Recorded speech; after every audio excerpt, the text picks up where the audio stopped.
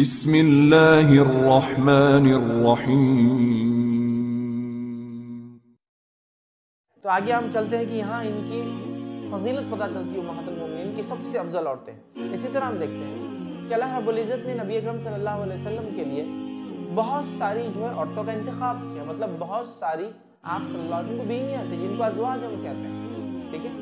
تو اللہ رب العزت کی کیا حکمت تھی کہ اتنے نکاح نبی اکرم صلی اللہ علیہ وسلم کے اللہ رب العزت نے کروا یہ تو یہ اللہ ہی بہتر جانتا ہے کیا حکمت ہوگی لیکن کچھ حکمتیں جو علماء ہمارے سامنے رکھتے ہیں، میں حکمتیں بھی آپ کے سامنے رکھتا ہوں کہ اللہ کے رسول صلی اللہ علیہ وسلم نے اتنے نکاح کیوں کیے؟ کیا حکمت اس کے پیچھے ہو سکتی ہے؟ پہلی حکمت ہم جو دیکھیں گے وہ یہ ہے، کیونکہ نبی اکرم صلی اللہ علیہ وسلم مومنوں کے لیے اسوا اور نمونہ ہے آئیڈیل ہے اور اللہ رب العزت نے قرآن میں فرمایا اور کہا، لقد کان لکم فی رسول اللہ اسوۃ الحسن کیا مسلمانوں، تمہارے لیے نبی اکرم صلی اللہ علیہ وسلم میں بہترین نمونہ ہے۔ تو چونکہ نبی اکرم صلی اللہ علیہ وسلم بہترین نمونہ ہے آپ کی زندگی کے ہر حالات کو سامنے لانا بھی ضروری ہے۔ تو اسی لیے اللہ رب العزت نے اتنی بیویوں کا انتخاب کیا تاکہ زیادہ سے زیادہ یا مکمل نبی اکرم صلی اللہ علیہ وسلم کی زندگی ہمارے سامنے آ جائے۔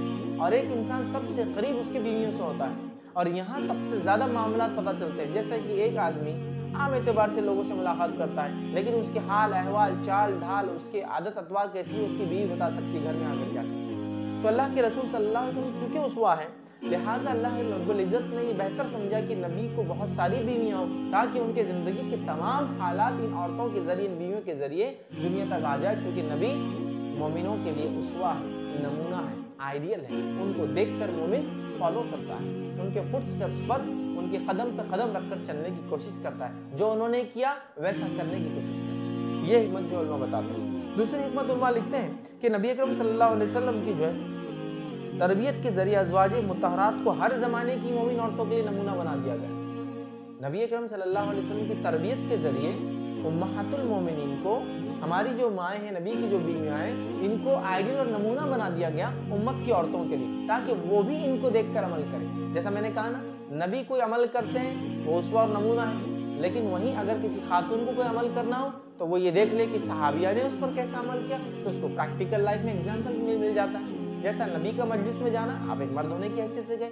اب وہیں ایک امہات المومنین یا کوئی صحابیہ کا جانا، یہ ہمارے عورتوں کی آئیڈیل ہے کہ وہ ان اصولوں کو کیسے پابندی میں لائے، ہے نا؟ کہ نبی جاتے، سلام کرتے، کیسے بیٹھتے۔ امہات المومنین نے بھی کیا تاکہ ہمیں پریکٹیکل مل جائے۔ اللہ رب العزت نے امہات المومنین کے ذریعے مطلب ان کو نبی کی تربیت میں رکھے امت کے لیے آئیڈیل بنا دیا۔ تھا اسی طرح ایک حکم، حکمت جو علماء لکھتے ہیں، وہ حکمت یہ ہے کہ اسلام کے مرکز اور گہوارے میں جو عرب قبائل آتے تھے، ان سے نبی اکرم صلی اللہ علیہ وسلم خاندانی رشتے بنا دینا، تاکہ اسلام کو تقویت ملے۔ یہ بھی ایک حکمت کہ جو عرب کے الگ الگ خاندان اور قبائل تھے، جب نبی اکرم صلی اللہ علیہ وسلم نے ان سے نکاح کیا، نتیجہ یہ ہوا کہ آپ کے تعلقات ان خاندان سے مضبوط ہو گئے اور نتیجہ یہ ہوا کہ اسلام کو اس میں تقویت ملی۔ کہیں ہے نا؟ آپ نے فلاں خاندان کی بیٹی سے نکاح کر لیا، تقویت یہ ملی کہ وہ پورا خاندان ایمان لے کر۔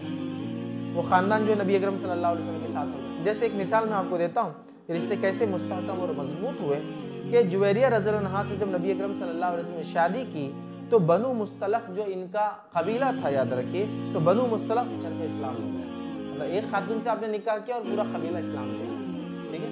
یہ بھی حکمتیں رہی اللہ رب العزت کی۔ اسی طرح ایک حکمت جو علماء لکھتے ہیں وہ یہ ہے کہ بعض عورتوں سے شادی کا مقصد یہ تھا کہ کوئی حکم شرعی بیان کرنا۔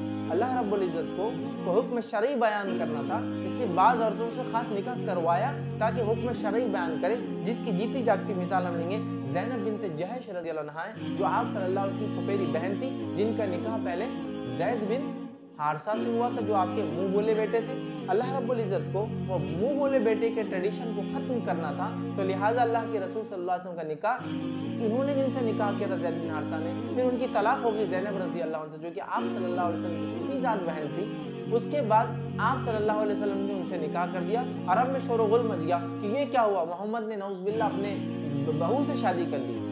لیکن زید بن حارثہ آپ کے سگے بیٹے نہیں تھے، منہ بولے تھے۔ تو اللہ کو یہ رسم ختم کرنا تھی، منہ بولا سسٹم تو لہٰذا اللہ نے نکاح کرا کے بتا دیا، منہ بولا کچھ نہیں ہوتا۔ عرب میں طریقہ تھا، وہ جب کسی بچے کو لے کے پال لیتے تو منہ بولا بیٹا بنا دیتے اور بیٹے جیسے سلوک کرتے تو وہ سسٹم کو توڑنا کچھ نکاح اللہ نے اس لیے کروائے کہ اللہ رب العزت کو رسومات کو، خرافات کو ختم کرنا تھا اس زمانے کے وجود میں جو غلط، غیر غلط رسومات تھے، ان کو ختم کرنا تھا۔ اور اس کے علاوہ اللہ ہی بہتر جانتا اور کیا کیا حکمتیں رہی تھی لیکن یہ چند حکمتیں ہیں جو علماء لکھتے ہیں کہ یہ ایک سے زیادہ جو نکاح آپ صلی اللہ علیہ وسلم کیے، اس کی کیا حکمتیں رہی ہوں گی؟ یہ چند حکمتیں تھیں بہرحال۔